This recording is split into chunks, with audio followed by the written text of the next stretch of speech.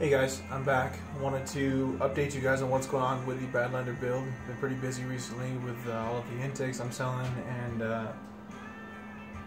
a new baby girl. Um, so, trying to get some stuff done in the garage every once in a while. Uh, been buying a lot of parts and uh, just kind of stocking it away until I had a time to uh, be able to get to it. Today, I am replacing the input shaft on my 241 for a 32 spline.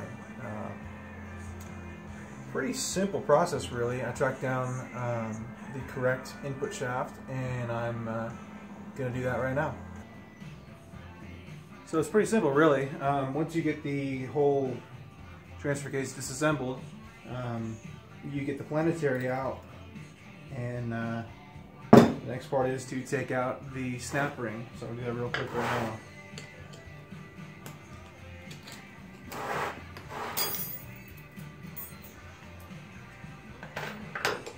Whole thing, this whole planetary comes right out. You have the lower and upper kind of wear rings, I guess you can call them. And with the correct 32 spline input,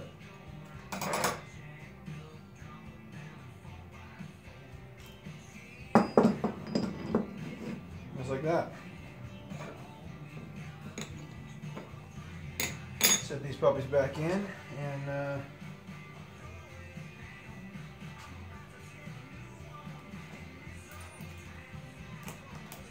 so it's pretty much that simple. So after putting the new 32 spline uh, input gear, this will be the actual driver drop transfer case. So my doubler will be in front of it and I need to, the output of that to be 32 spline. So what this is, this is an intermediate shaft for the transfer case. This is the output side will be sticking out of the back of the, the doubler. The, the doubler is going to be half of a case of, of the, the other 241 I have. And so that'll go into this. This will be sitting inside of there and uh, this right here is actually part of the uh, shaft,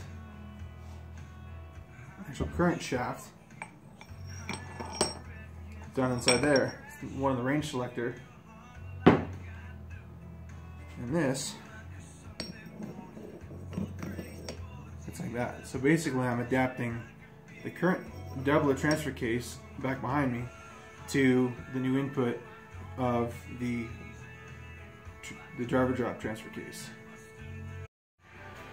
What I'm also going to do today is uh, add a sight glass or a sight tube to know what uh, level the oil is inside of the transfer case. So I'll put a hole probably up here and uh, probably down here and it'll just kind of sit just kind of like that. Um, so that while I'm wheeling, and if I ever have a problem or ever want to just check, I'll just climb up onto the truck and I'll see the, the fluid floating around in here wherever it needs to be. Um, so, um, I don't think I'll have any issues with that, but uh, I'll uh, get this started and uh, come back. Alright, so now that I've got both of my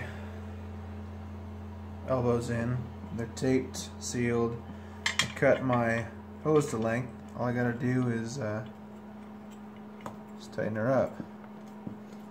So like I said, this is gonna allow me to see what's going on inside the transfer case, at least for the fluid level, and you know even the fluid color. Um, while I'm out wheeling, or just you know in town if I'm just driving around and I sense something going wrong, or just want to feel like checking it.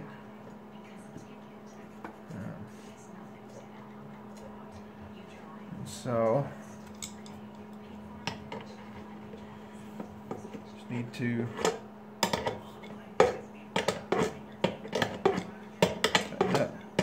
These are compression fittings for this 3 8 hose. This clear vinyl is rated for transmission oil, so it won't deteriorate or break or cause any issues.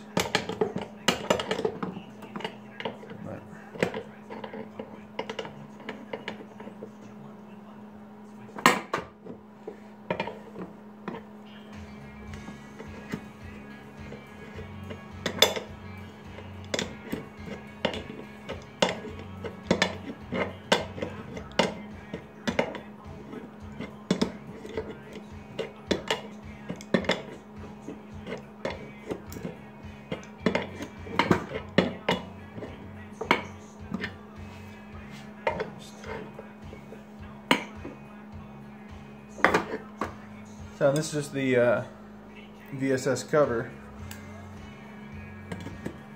And uh, as you can see, it won't interfere with anything going on here.